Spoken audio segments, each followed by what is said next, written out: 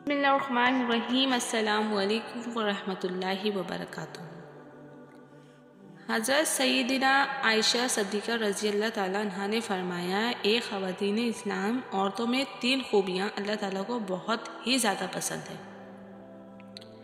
जब पूछा गया कि वो कौन सी तीन खूबियाँ हैं जो हज़रत आयशा रज़ी अल्लाह ताला ने फरमाया, पहली खूबी पर्दा है। पर्दा किसी खातून की ऐसी खूबी है जो अल्लाह ताला को बहुत ही ज़्यादा पसंद है।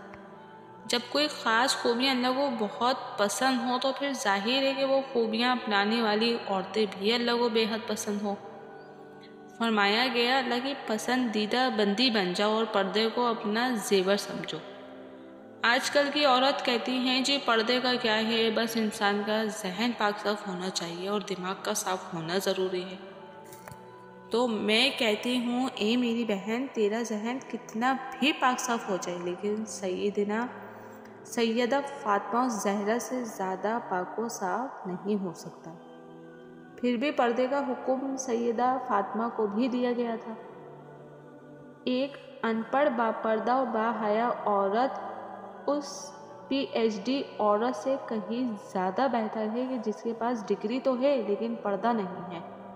डिग्री तो है, लेकिन बाल हर वक्त खुले हुए हैं। उसके पास डिग्री तो है, तालीम तो है, लेकिन आँखों में शर्मो हया नहीं है। उसके पास डिग्री तो है, लेकिन माँ बाप का अदब व एहतराम नहीं करती। भाइयों का एहतराम नहीं करती। हर वक्त शीशे के सामने खड़े होकर अपने बालों पर इतराती है, अपने हुसन पर नाश करती है।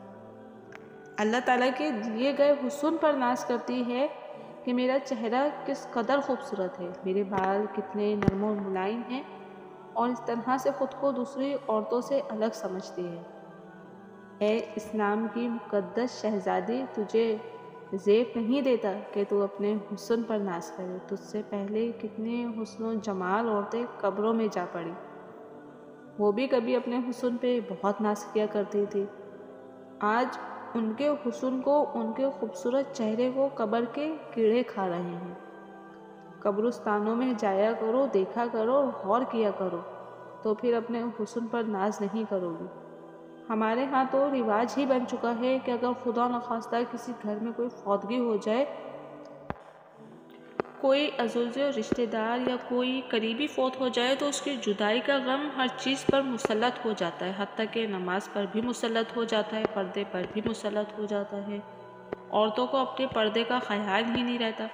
बाप भाई बहन को नमाज़ का लेकर ख्याल नहीं रहता। मोहतरम नाजरीन साहब करामरिजवान अजमैन के दौर में जब कोई फौदगी हो जाती थी, ज़ाहिर है कि ख़ानदान वालों के लिए बहुत ही गमजदा सूरत हाल होती है।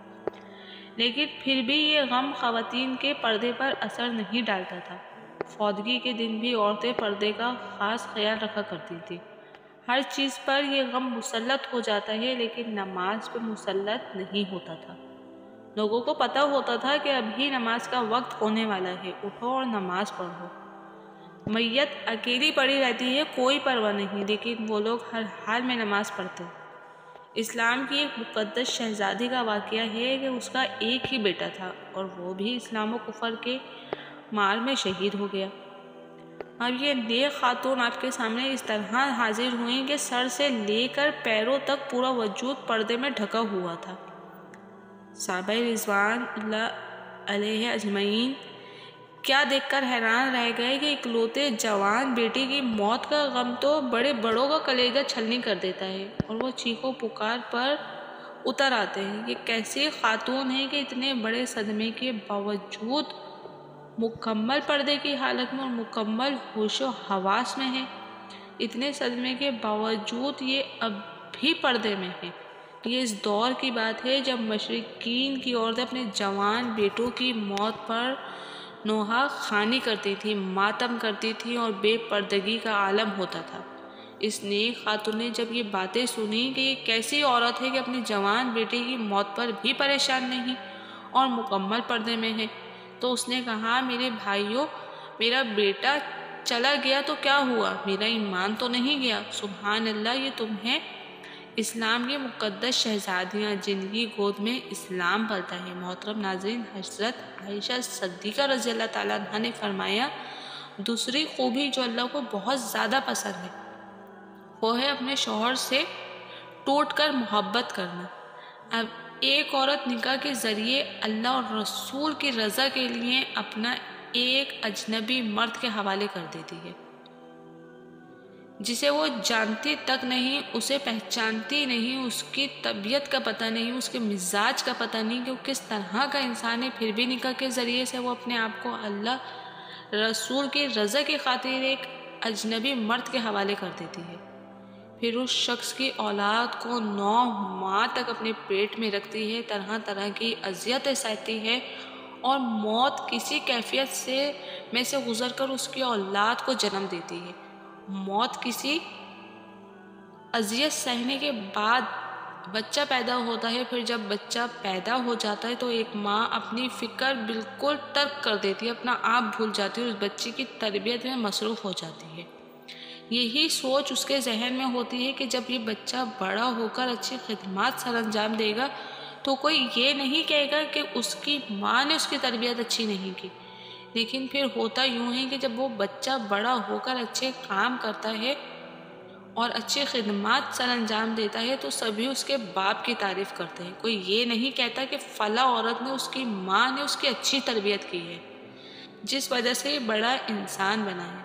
तो कई साल तक जब वो हमारे बच्चों की परवरिश में लग जाती है और अपना आप बिल्कुल भूल जाती है तो उसके चेहरे पर झुर्रियाँ नमोदार होने लग जाती हैं। फिर ऐसी औरत के कई शोहर ये कह कर ठुकरा देते हैं कि औरत मर्द के पाँव की जूती होती है। वो जब चाहें उस जूती को तब्दील कर सकता है। अल्लाह अकबर। एक बुज़ुर्ग और नेक इंसान की महफिल में लोग बैठे हुए थे। वहाँ ये बात चल रही थी कि एक मर्द कह रहा था कि औरत तो मर्द की जूती होती है। मर्द को जहाँ भी अपने मुनासिब साइज़ की जूती नज़र आए तो वो बदल ले। वहाँ पर बैठे शख्स ने उस अल्लाह वाले बुज़ुर्ग इंसान के जानब रुख किया और उनसे दरियाफ्त किया कि यह हज़रत, क्या ये शख्स ठीक कह रहा है? तो बुज़ुर्ग फरमाने लगे कि, अपनी सोच के मुताबिक बिल्कुल ठीक कह रहा है। और वाकई औरत मर्द के पैरों की जूती होती है। हर उस शख्स के लिए जो खुद को पाँव की मानंद समझता है। फरमाने लगे, हर वो शख्स जो खुद को पाँव जैसा तस्वर करता है, वो अपनी बीवी को पाँव की जूती ही समझता है। यही औरत सर का ताज भी हो सकती है, लेकिन सिर्फ़ उस मर्द के लिए जो खुद को बादशाह की मानन समझता है। जब एक औरत एक ऐसे शख्स के लिए अपनी ज़िंदगी कुर्बान कर देती है ना, जिसके वो निकाह में आ जाती है, उसकी खिदमत गुजारी करती है, बच्चे पैदा करती है और उसके बच्चों की तरबियत के दौरान उसके चेहरे पर झुर्रियों के निशान नमूदार हो जाते हैं। लेकिन मर्द इस बात को समझने के बजाय जब ये देखता है कि ये औरत पहले की तरह खूबसूरत नहीं रही तो वो दूसरी औरत की जानब माइल होने लगता है और अपनी बीवी को छोड़ने के लिए तैयार हो जाता है। तो ऐसा मर्द अपनी बीवी की हस्ती बस्ती ज़िंदगी में जहर घोल कर रख देता है और उसे कांटों के बिस्तर पर सोने पर मजबूर कर देता है। तो क्या यही इंसानियत है? खुदारा, अल्लाह की रहमतों की कदर किया करे, वो किसी भी शक्ल में हो, माँ की, बहन की, बीवी की या बेटी की, उनको इज़्ज़त दिया करे। हज़रत आयशा सदीक़ा रज़ी अल्लाह तहा ने फरमाया कि औरत के अंदर तीन खूबियाँ अल्लाह ताला को बहुत ही ज़्यादा पसंद है। जब पूछा गया कि, ए अमीरमिन औरतों की वो कौन सी खूबियाँ हैं जो अल्लाह ताला को बहुत पसंद है? तो फरमाया, नंबर एक, पर्दा, यानी पर्दा करने वाली औरत अल्लाह को बहुत ही ज़्यादा पसंद है।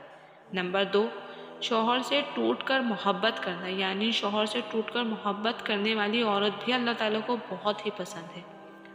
नंबर तीन, अल्लाह के हुजूर झुकने वाली औरत, नमाज़ पढ़ने वाली औरत, क्याम, रुकू और सिजदा करने वाली औरत कुरान पढ़ने वाली औरत।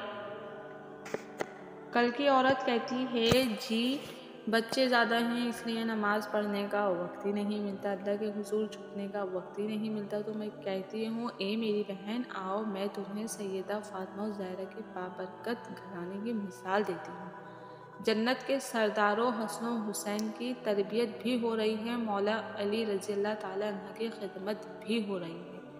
खाने को खाने भी पेश किए जा रहे हैं। जब रात होती है तो सईदी बदा फातिमा जहरा सोने के लिए बिस्तर बिछाने के बजाय अल्लाह के हुजूर मुसल्ला बिछा लेती हैं, क़याम करती हैं, रुकू करती हैं और फिर जब सिजदे में जाती हैं तो एक के बाद दूसरा सजदा भी मुकम्मल ही नहीं होता तो सुबह हो जाती है। सुबहान अल्लाह माशाल्लाह, अल्लाह जवज्जल से दुआ है कि हमें नेकी की बातों पर अमल करने की तौफीक अता फ़रमाए, आमीन या रब्बुल आलमीन। मोहतरम नाजरीन, अगर मेरी आज की मालूमती वीडियो आपको पसंद आए तो बर करम इस वीडियो को लाइक और शेयर कर दीजिए और मेरे चैनल को ज़रूर सब्सक्राइब कर लीजिए। शुक्रिया।